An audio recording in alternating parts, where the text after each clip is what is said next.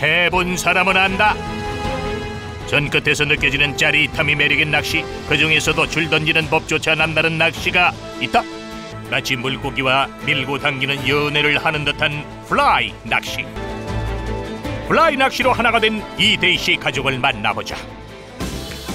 서울에 위치한 떡집. 아니 그런데? 강태공을 찾아왔는데 웬 떡집이에요? 플라이 낚시를 즐기는 이대희 씨의 본업이 바로 이 떡집 떡집은 우리가 한 30, 한 4년 정도 됐죠. 저쪽에 계신 분이 우리 형님인데, 예, 떡을 주로 이제 주방을 책임져요. 저는 이제 영업, 이제 포장하고 이제 영업을 주로, 그리고 이제 관리, 그걸 많이 하고요. 애 엄마도 이제 매장 관리하고, 손님 받고, 이런 주문 받고 이런 거. 저는 이제 외부로 많이 뛰고, 배달서부터 이제 총괄을 하고요. 할머니부터 전해 내려온 떡집을 형제 그리고 아내와 함께 꾸려가는 이태희 씨. 떡집은 두 아들을 키워낸 부부의 보금자리라고. 그날 오후 아들까지 합세한 휴가. 그런데 편한 곳에서 누워서 쉴 줄 알았더니 뭘 이렇게 준비하시오? 응? 아이고 나 낚시대 아니야? 그런데 해가 점점 지고 있는데 플라이 낚시는 새벽에 하는 어종이 많아요. 송어 같은 거, 뭐 산천어 같은 거 그런 거는 이제 새벽에 많이 가서 잡아요.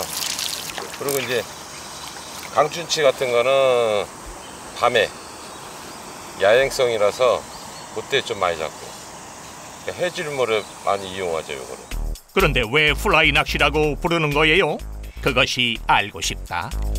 이름의 비밀은 바로 이 미끼에 있다. 이 미끼가 바로 플라이라고. 요즘은 이제 타, 이걸 이제 만드는 걸 tying이라 그래요. hook을 만드는 거를. 그 이제 뭐 wet hook, nymph hook, dry hook. 요런 거는 지금 dry hook이라 그래요. 동물의 이렇게 새 조류의 이제 털을 갖고 이용해서 만드는 거거든요.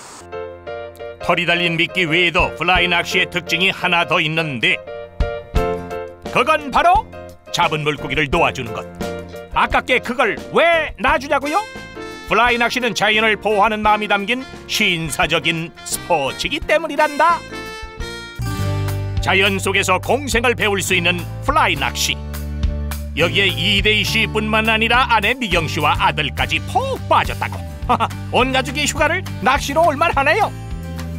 다음 날 휴가의 시작과 끝은 역시 플라이 낚시. 어. 내 여기 민물에는 아빠 이거 할 때 너도 도와줘야지. 그 rod 좀 뒤에 잡아줘봐. 응, 그렇지. 잠깐 있어. two hand도 던지고 one hand도 하고. 플라이 낚싯대는 두 종류로 나뉘는데 한 손으로 낚싯줄을 던지는 원핸드 두 손으로 낚싯줄을 던지는 투핸드로 나뉜단다.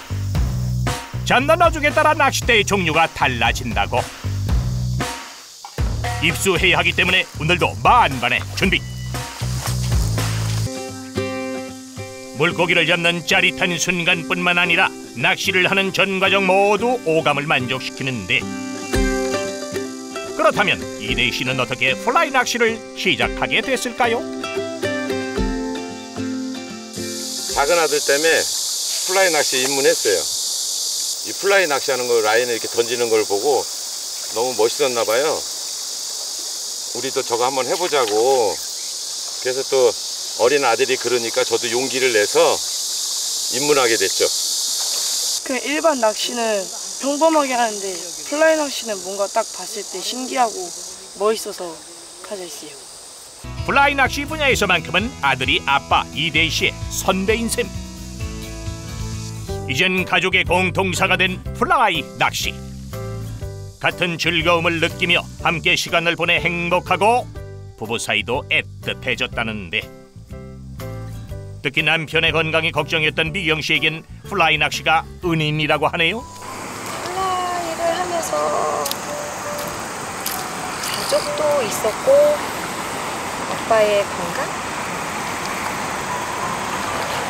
그전에는 이제 허리가 안 좋아서 한 달에 한 번 정도씩 계속 입원을 했었거든요. 근데 플라이 하면서 그게 없어지더라고요. 건강이 좋아지니까. 그래서 어, 플라이는 진짜 저희한테 없어서는 안 돼요. 네, 이 함께 가, 가야 할 친구 같은 거죠. 뭐 떡은 이제 오래 해갖고 잘한다는 자부심을 갖듯이 플라이 낚시를 좀 더 열심히 해가지고 진짜 우리나라에서 한번 플라이 하면 저 사람이다 이런 칭호를 좀 받았으면 해요. 떡집 가족의 특별한 휴가 일도 쉼도 열심인 당신을 응원합니다